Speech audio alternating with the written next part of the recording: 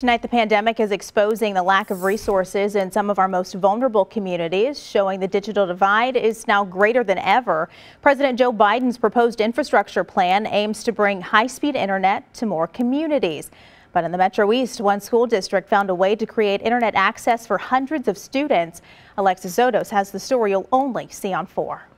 It was a problem before the pandemic, and when the pandemic hit, it was uh, just amplified. When students in Collinsville headed home last March with their Chromebooks in hand, they found a significant problem. There were so many students that didn't have internet at home, so they were learning from home with no internet, so there was no learning from home. As the translator for the Collinsville School District, which has a large Hispanic population, Lizeth Jimenez saw the disparity firsthand. Hundreds of families had no access to internet, in part due to cost, but also this part of the Metro East lacks options. No dial up, no DSL, no cable internet. They're calling internet access the, the fourth utility. You know, you've got water, you've got gas, you've got um, electricity and, and you've got the internet. It's why broadband access or high speed internet is a large part of President Joe Biden's infrastructure plan. In the meantime, Collinsville came up with their own solution. We were, I think, the fifth school district in the country to do something like this. The Collinsville School District was able to use their CARES stimulus funding to build this tower. It might not look like much, but it provides internet access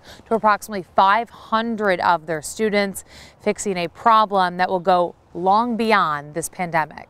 They take this device home, plug it in, It'll automatically connect to our private LTE network. Jimenez helped set it up for many of the families and saw firsthand the gratitude of what this piece of equipment really means. We gave them internet not just for school, but for life and being connected to the outside world like everyone else is. In Collinsville, Alexis Zotos, News 4.